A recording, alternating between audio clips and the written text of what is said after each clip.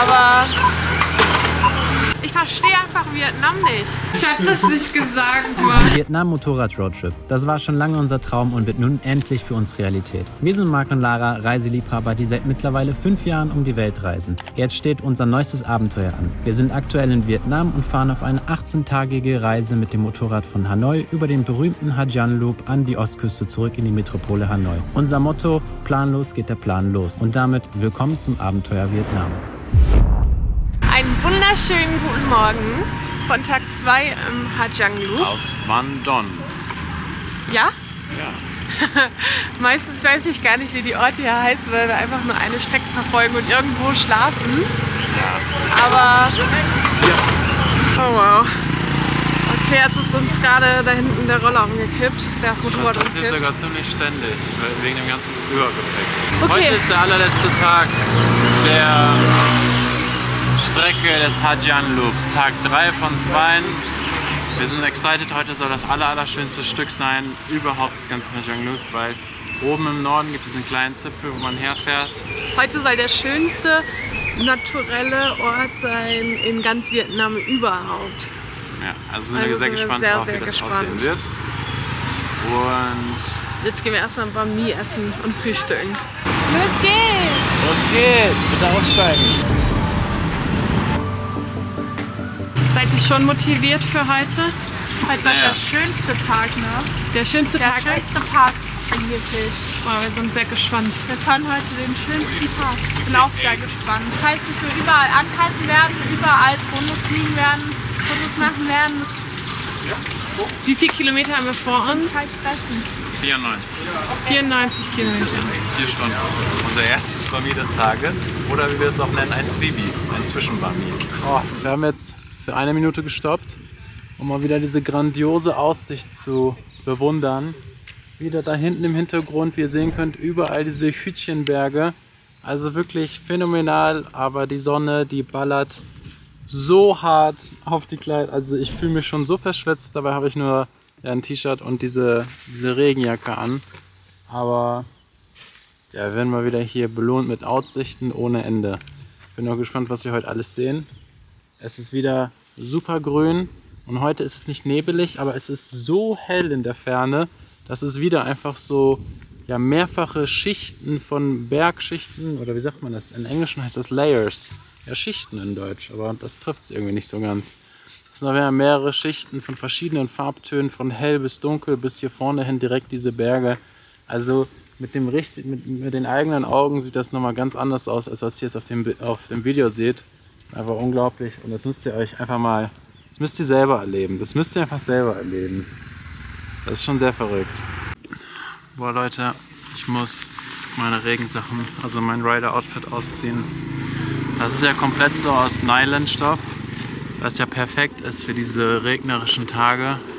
Und wenn man durch die Wolken fährt und durch Schlamm und so, weil dann die Kleidung darunter nicht nass wird oder überhaupt dreckig, so Staub und so, ist ja alles perfekt dafür. Aber für so heiße Tage ist das, boah, das ist richtig anstrengend. Ich spüre gerade, wie so richtig Wind durch mich durchzieht, so durch die Kleidung. Ich habe ja so atmungsaktive Kleidung und boah, wir müssen ohne Riderkleidung weiterfahren. Ich weiß gar nicht, was schlimmer ist. So richtig heißes Wetter oder Regen und kalt. Schreibt es mal unten in die Kommentare, was ihr schlimmer findet, wenn ihr so eine Biketour macht. Regen und kalt oder richtig heiß. Ich persönlich finde ja richtig heiß eigentlich nicer, weil man mehr sehen kann und man kann halt entscheiden, was man anzieht. Und bei kalt und regnerisch ist einfach, man zieht einfach alle Schichten an, die man hat. Aber dann fühlt man sich auch so permanent eklig, weil man einfach nass ist. Ähm, deswegen kommentiert so unten rein, was eure Meinung ist. Würde mich wirklich interessieren. Ist das der Happy Dance für gutes Wetter? Das ist der. Mir ist Hotto Spagotto und ich Otto mag lieber. Ich verstehe einfach Vietnam nicht. Wieso muss es denn entweder minus 10 oder plus 30 Grad sein? Wieso nicht einfach mal 15 bis 20 Grad? Aber ich glaube, es ist 20 Grad. Wir sind einfach sehr hoch in den Bergen und es ballert. Jonathan meinte, es wäre 28 Grad. 28 Grad? 20 Grad und es wird Wird noch heißer. Den Beat nie mehr leiser. Wir markieren euch auf jeden Fall diesen Ort hier, wo wir stehen. In unserem Reiseguide, den ihr unten in der Videobeschreibung findet, werdet, findet werde, finden werdet. Wir haben uns auf jeden Fall sehr viel Mühe dabei gegeben, diesmal wirklich alles festzuhalten, wo wir waren und auch zu Was es bewerten, gekostet hat. was es gekostet hat, Fotos zu machen, an welche Orte wir fahren, welche Routen wir fahren, welche Hotels wir haben und auch wie man der Polizei am besten entgeht. Wenn ihr das auch vorhabt und wenn ihr diese Reise auch machen wollt, dann schaut auf jeden Fall in der Infobox, da ist alles für euch verlinkt und wir haben uns wirklich, wirklich Mühe damit gegeben. It's too hard to handle und deswegen fahren wir jetzt weiter. Und es geht jetzt weiter mit dem Pass. Wie heißt der Pass nochmal? Mapileng Pass. Mapileng Lak, Pass. Lak, Tau. Bakso, Baulak. Bakso. Bakso, Baulak. Das ist unsere Es ist Enddestination. der Mapileng-Pass nach Bakbaulak. Das ist Bakbaulak. Bakbaulak.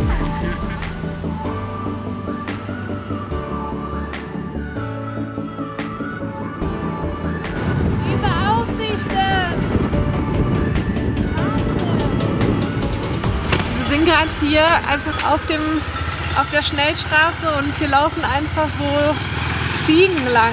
Das hat man hier ganz, ganz oft, dass man einfach Ziegengruppen sieht oder Wasserbüffel. Und die sind Kühe, Wildschweine. Wildschweine und die sind halt nicht angekettet in dem Sinne, manchmal schon, aber oft laufen die auch einfach frei rum. Und das ist so cool zu sehen. Irgendwie echt verrückt, weil man kennt das ja aus Deutschland gar nicht, solche Wildtiere, die einfach rumlaufen. Oder Kinder oder Vietnamesen, die auf der Straße laufen. also wir schauen gerade hier wieder kein Aussichtspunkt oder so, einfach am Straßenrand. Übertrieben crazy, wie es hier aussieht. Aber es gibt halt diese Easy Rider Touren, die vier Tage lang gehen und da ist diese Bootstour inklusive. Dort unten sieht man jetzt so Boote herfahren, die zwischen diesen ja, Klippen, Bergen entlang tuckern. Das Wasser ist auch übertrieben türkis, aber so ein bisschen dunkel, nicht so hell, wie man das irgendwie aus Griechenland kennt oder aus Bali.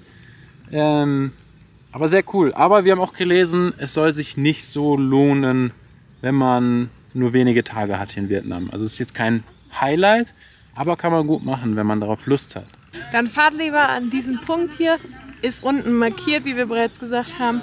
Und dann werdet ihr auch hier hinkommen und halt die Aussicht genießen können. Und das lohnt sich auf jeden Fall.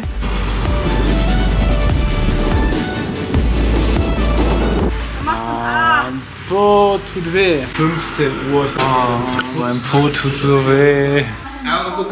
Booking, ja. Also ich bin erstmal sehr gespannt, was wir für Zimmer bekommen. Wir sind jetzt in unserer Unterkunft angekommen in Baulack. Und anscheinend haben Clara und Jonathan das Standardzimmer ohne View. haben das mit. Double gebucht. Gleich ist die View einfach auch die Was war Straße. denn das für ein schäbiges Lächeln? so ein Ein suffisantes Lächeln. Anscheinend haben die beiden nicht das teure Ich hätte es euch auch gegönnt. Wir haben noch, das wir haben noch keine Amex, die beiden. wisst ihr? Versteht. Amex ist auf dem Weg. Ach Mensch. Hab dann nur noch Money! Bunny? Yes, my dog here. Second floor. Seventh Floor? Oh, Second. Second Floor. Ich dachte gerade Seventh. Oh, das ist gut. Ist das euers? Oh wow, das sieht trotzdem Deluxe aus. Voll schick. Toll. Dann will ich nicht wissen, was in eurem Raum ist. Oh wow. Gucken wir mal euer Zimmer an. Also das Hotel hatte eigentlich relativ schlechte Bewertung, würde ich jetzt mal so sagen. Aber dafür ist es echt sehr gut. Ihr habt einen Wir haben Teppich und Tee. Das ist das Premiumzimmer mit Teppich. Oh wow, unsere View ist aber wirklich schön. Man kann sich halt nicht alles leisten, ne? Wir sind halt low budget einfach. Die haben uns Snacks gebracht. Diese komischen Kekse, die Lara sehr gerne mag. Und Oh, die Waffeln. Oreos. Jonathan mag Oreos. Jeder mag Oreos. Und Kaffee für Clara. Yay. Und Wasser für mich. Das schmeckt nach so Fake-Banane noch. Oh ja, da, riecht man. Mhm. Das riecht so wie, es, das kennt man. So Bananenmilchpulver. Boah ja, wie Bananenmilchpulver. So Cover. Bananenmilch. Krass. Ist gar nicht so schlimm. Ist eigentlich ganz okay. Ich habe nicht gesagt, dass es schlimm ist. Was gibst du für eine Punktzahl? Korrekt so, Junge. Ich hab das nicht gesagt, Mann. Wie viele Punkte gibst du? 6 von 10, also ist auch irgendwie lame. Ja, okay. Erzähl du, Clara. Vier. Ich glaube, wir haben da auch nur so Oreo drauf geschrieben, damit irgendwas draufsteht. So, wir sind jetzt erfolgreich in unser Zimmer eingecheckt. Wir hatten tatsächlich das Deluxe-Zimmer, was 2 Euro teurer ist als das von Clara und Jonathan. Deswegen haben wir überhaupt ja irgendwie so ein bisschen schickeres Zimmer. Wir haben jetzt noch Snacks bekommen und Wasser, was ganz nett war. Und jetzt suchen wir uns einen Café, wo wir was essen können und trinken und ein bisschen an den Laptops worken. Und mehr geht da auch gar nicht. Also wir nehmen euch natürlich mit und zeigen so, was wir hier machen in Baulok. Aber ist das schon, sind wir schon da? Nee? Immer ziemlich hilflos alle unterwegs, wenn man in einer neuen Stadt. Lilly? Das ist der Hund unserer Unterkunft, der folgt uns einfach. Und das ist so süß, die Hunde, die laufen einfach hier rum und die verstehen auch, wenn ein Roller kommt. Also wenn ein Roller hupt, dann bleiben die einfach stehen und bewegen sich einfach keinen Zentimeter weiter. Aber ich finde süß, der geben uns jetzt Essen. Schau mal rein. So, hallo? Guck mal. Unser kleiner Tourguide. So, wir haben uns ein bisschen Tofu bestellt, ein bisschen Beans mit Knoblauch, Reis für eine ganze Fußballmannschaft und es sollte noch Ei kommen. Und Essen in solchen lokalen, wie nennt man das, Restaurants, in Bali heißt es ja Barungs, ist echt günstig. Also so dieser Tofu, der ganze Teller Tofu kostet um die 2 Euro. Lassen wir uns das hier einmal gut gehen und wir sehen uns später.